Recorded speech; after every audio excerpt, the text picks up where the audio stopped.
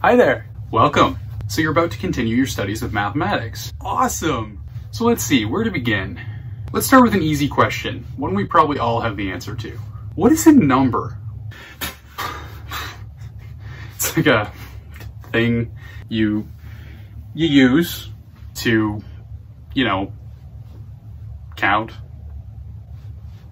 As it turns out, finding the answer to this question may be a little bit more challenging than you thought. We can start to ask ourselves bigger questions about the nature of numbers. Like how come numbers can be called something different depending on the language you're speaking? If we were never taught numbers, would we know they exist?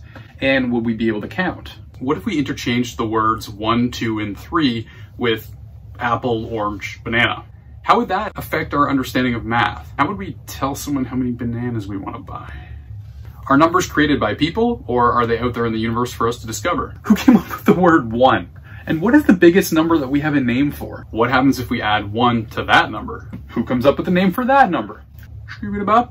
What would it sound like in French? Le shkoobilibop. Le shkoobilibop. Before fractions were a thing, everybody just eat a whole pizza. Age and time are represented by numbers. Would time still exist if we didn't have numbers? My four-year-old daughter, when asked about numbers, had this to say. A number is a thing you can count. Like if you have some things, you can count them. One, two, three. There's also negative numbers and zero.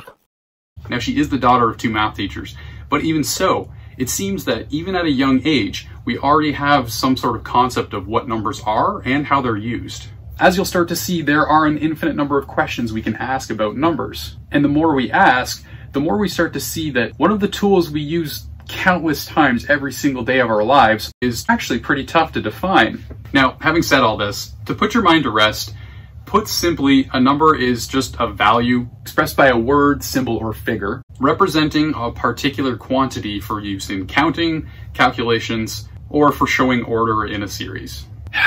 Yeah, but who comes up with the symbols? What happens if we change the symbol